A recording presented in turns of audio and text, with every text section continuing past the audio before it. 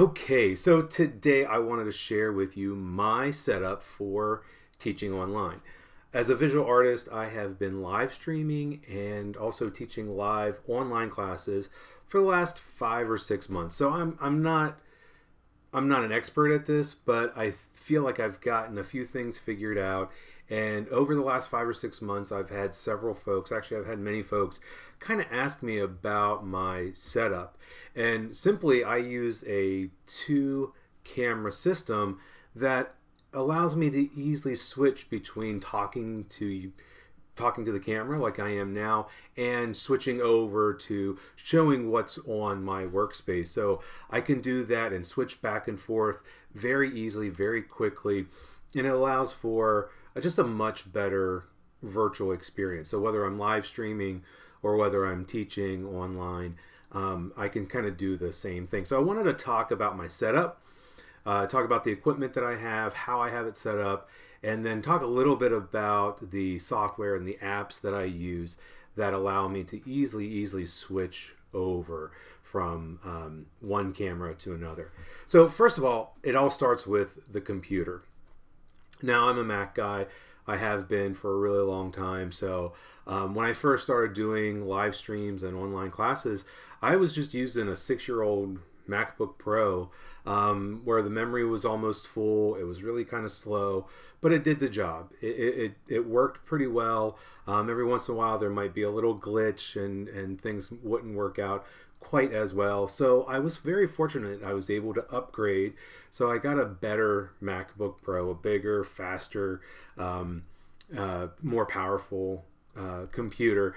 But the the big thing is that the computer has a built-in camera, and that's what I'm using right now to to speak to you. And so I can use the the the computer to control the cameras, control the software, control the apps, and switch back and forth. Um, and so I just really wanted to make sure that I had a powerful, uh, fast computer that could handle all of the processing of the video of, of the video and the and the sound and everything like that. Um, so that's the first thing. You got to have a, a, decent computer. I mean, just something that's going going to allow you to to to get online and to hook up a couple different cameras um, or have a built-in camera, should I say? Um, and so again, it's it, it allows me to switch back and forth. But when I when I'm working with it, I do set it up a little bit higher so that it's more on eye level and you're not looking up my nose. That's not very very pleasant. So you have a, a bit more of a straight on shot because I set the computer up so that the camera is about my eye level, and it just makes it a, a better experience for those people that are kind of tuning in. Um, so that's the first camera. Now the second camera is a web camera. It's just a simple, inexpensive web camera.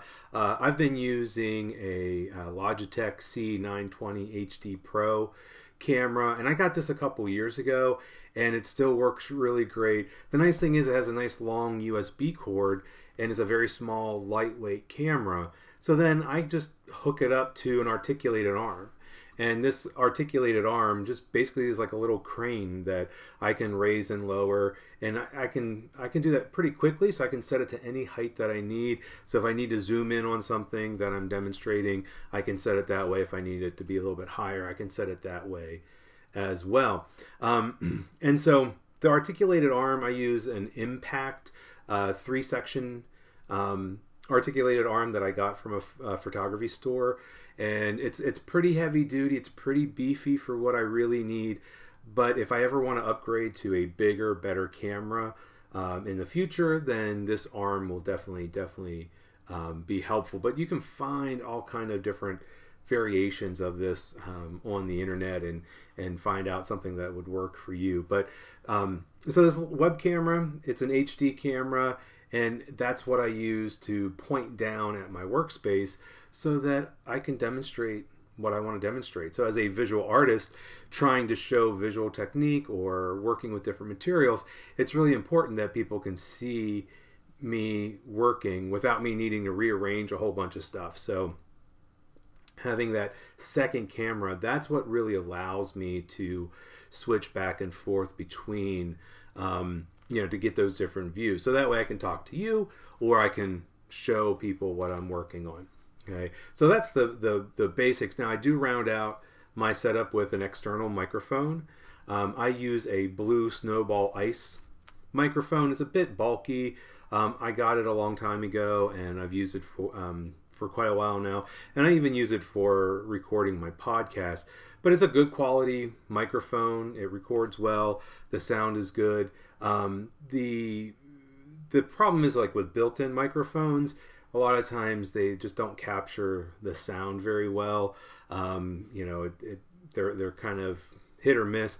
Sometimes the cameras have a, a pretty good built-in one, so you can always explore and experiment and see what works. But um, having some good quality external microphone is always handy just to make sure that your sound quality is consistent and and good. You want people to be able to hear you. Um, and then I round out my setup with studio lights. You got to have yourself lit up and you've got to have your workspace lit up as well. I just use some very standard studio lights that I've had in my studio for years and years and years. Um, I'm always trying to think about money. I don't want to buy some super expensive professional lighting kit uh, when I just have a couple lights that could work. So I have two lights set up. One kind of shines in this way on me and the kind of that's the filler light and then I have the main light the key light coming in um, from this side. So it's just a nice even lighting and it also doubles and, and lights up my workspace that's right here in front of me. Um, and these are just standard studio lights that I got from like an art store um, the tall metal ones. Um, and I just put in a couple very bright daylight bulbs in them seems to do the trick. Uh, one day I, I really hope to to upgrade my system and get better lighting, um, get something a bit more professional. But you know, hey, this is working for me now, and it could work for you as well. Um, so that kind of really wraps up my space. Uh, other than you know, I have a nice little table that I work on, and allows me to have the the articulated arm clamped to the back. Has enough room for me to set up the computer, um, and it has, has enough space where I can kind of work and do the thing that I want to do. Um, and so that's that's kind of my physical setup. Okay. Uh, now you have to have the right software, the right app, the right stuff, the right platform on your computer, because not all virtual platforms are created equal. Not all of them have it built in where you can switch back and forth through cameras, uh, back and forth between cameras. So um, I've only done some live streaming through Facebook, and I've only used Zoom. Zoom is the the key thing that I've used for my online classes, but I, I have the ability, the freedom to pick because I'm doing online classes uh, for myself and by myself, and so I don't have a school system. I don't have uh, anybody else dictating what platform I use. Um, but let's talk about live streaming first. So uh, if I were to live stream directly to Facebook, I can only use one camera. You can only set up one camera to use directly with Facebook. So there's a, a software out there. It's called Open Broadcast Software. It's a free software that uh, it's open. So a lot of people have contributed to it and it works great. It's it's the go-to for streaming um, partly because it's free and then it just it's pretty easy to use once you get it set up. I'm not going to go into how you how to set it up but the nice thing is that you can set it up so that you have multiple cameras. Like even if more than two. I only use two but if you have three or four cameras you could set it up um, so that you can easily switch back and forth between the cameras. But you can also set up images which is great if you want to have like a title slide um, or if you're live streaming you can always put in there you know the live stream will start soon. Um, and then you can always have kind of an ending slide an ending title so that you can like have some credits or put out some information. Um, and that's what's great like you you can do all that in that software and it's a go between it goes between facebook and and your computer um, so that way you switch back and forth in the software, and then that conveys it to uh, to um, Facebook. So real simple, real easy to use. Um, and the nice thing is you don't have to use it just for live streaming. You could just record directly. So you can kind of set up a title, you could set up an end, you can set up all kind of different things with it. Do your recording, do your demonstration, and then it's all done in one shot. There's no need to edit because you've kind of edited as you've gone along, and you can kind of have a more professional, easier to kind of uh, use presentation. So you can do pre-recorded presentations with it as well. Um, so that's the live streaming. And then for online classes, like I've said, I use Zoom. Now, I started using Zoom just because I had the free account, but I did upgrade because I do classes that are more than an hour long. Um, so it's inexpensive. Uh, you can get a yearly plan, you can pay it uh, monthly. Um, but the, the reason I use Zoom is that it is pretty easy to use. A lot of people are familiar with it. It's what a lot of uh, businesses are using. Um, so a lot of my students are already familiar with it and they come in, they already know how to use it. Zoom's used a lot. I know it had some issues that um, had a lot of privacy and security issues. They've kind of worked through a lot of that, and I haven't had any problems of Zoom bombers coming in and, and ruining it because I do set up with a password with a unique um, meeting number, um, and so I, I, don't have that issue. And I only send out the link privately through emails. I don't post it or publish it um, on the internet for anybody to find.